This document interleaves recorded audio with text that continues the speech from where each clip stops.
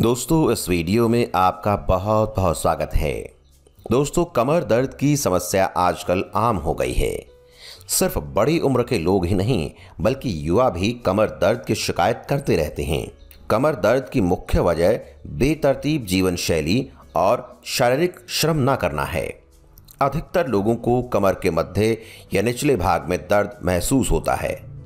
ये दर्द कमर के दोनों ओर तथा कूल्हों तक भी फैल सकता है। बढ़ती उम्र के साथ कमर दर्द की समस्या बढ़ती जाती है। नतीजा, काम करने में परेशानी। कुछ आदतों को बदलकर इससे काफ़ी हद तक बचा जा सकता है। चलिए, आज आपको बताते हैं कुछ घरेलू नुस्खों के बारे में, जिनको अपनाकर आप कमर दर्द से आराम पा सकते हैं। पहले बात करेंगे, कमर दर्द क्यों होता है? मांसपेशियों पर ज़्यादा तनाव, अधिक वज़न, गलत तरीके से बैठना हमेशा ऊँची एड़ी के जूते या सैंडल पहनना, गलत तरीके से अधिक वज़न उठाना, शरीर में लंबे समय से बीमारियों का होना, अधिक नर्म गद्दों पर सोना। अब बात करेंगे कमर दर्द से बचने वाले घरेलू नुस्खों की।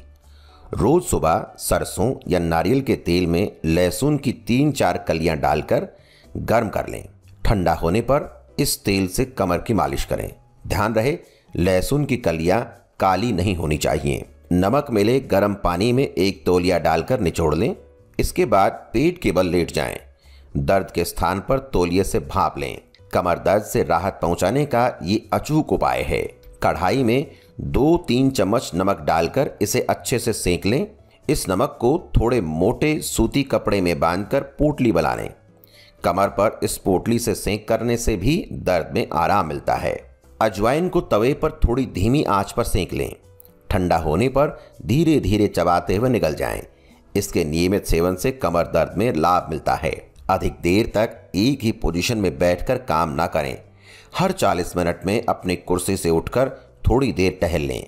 कैल्शियम की कम मात्रा से भी हड्डियाँ कमज़ोर हो जाती हैं, इसलिए कैल्शियम युक्त चीज़ों का सेवन करें। कमर दर्द के लिए व्यायाम भी करना चाहिए। सैर करना, तैरना या साइकिल चलाना सुरक्षित व्यायाम है। तैराकी जहाँ वज़न तो कम करती ही है, वहीं ये कमर के लिए भी लाभकारी है साइकिल चलाते समय कमर सीधी रखनी चाहिए और व्यायाम करने से मांसपेशियों को ताकत मिलेगी और वज़न भी नहीं बढ़ेगा कमर दर्द में भारी वज़न उठाते समय या ज़मीन से किसी भी चीज़ को उठाते समय कमर के बल ना झुकें, बल्कि पहले घुटने मोड़कर नीचे झुकें और जब हाथ नीचे वस्तु तक पहुँच जाए तो उसे उठाकर घुटनों को सीधा करते हुए खड़े हो जाएँ। ऑफ़िस में काम करते समय कभी भी पीठ के सहारे ना बैठें। अपनी पीठ को कुर्सी पर इस तरह टिकाएँ कि ये हमेशा सीधी रहे। गर्दन को सीधा रखने के लिए कुर्सी में पीछे की ओर मोटा तौलिया मोड़कर लगाया जा सकता है। योग भी कमर दर्द में लाभ पहुंचाता है। भुजंगासन शलभासन हलासन, उत्तान पादासन, श्वसन आदि कुछ ऐसे योगासन हैं जो कि कमर दर्द में काफ़ी लाभ पहुंचाते हैं। कमर दर्द के योगासनों को योग गुरु की देखरेख में ही करना चाहिए। तो दोस्तों, कमर दर्द के कारण आपको बताए और इसके इलाज के लिए आपको क्या करना है, वो भी हमने इस वीडियो में आपको बताया। उम्मीद करते हैं वीडियो आपको अच्छा लगा होगा और अगर आप ये चाहते हैं कि दूसरे लोग जो इस परेशानी से पीड़ित हैं, वो भी इन नुस्खों के बारे में जानें तो इस वीडियो को उन तक ज़रूर पहुंचाएँ। इसके साथ साथ आप हमारे चैनल को सब्सक्राइब कर सकते हैं ताकि इस प्रकार के और भी स्वास्थ्यवर्धक वीडियो हम आप तक लेकर आते रहें। धन्यवाद।